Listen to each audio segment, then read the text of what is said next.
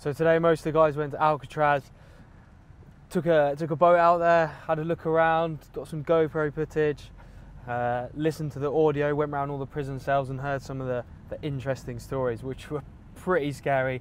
Cells were absolutely tiny, and I tell you what, I wouldn't have been stuck in the hole where it was pitch black for a week. It looked awful, and yeah, so a few guys did that. Then a few guys have done a boat tour around San Francisco Bay. A couple of guys have been surfing.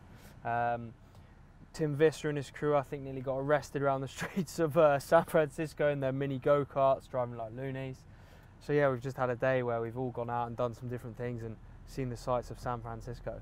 So this week's been an amazing experience. I'm sure that everyone will agree. So we've been we've had a training camp. But the training's been hard. We've we've had a lot of downtime, and I was lucky enough the other day to go to East Palo Alto to do a coaching session.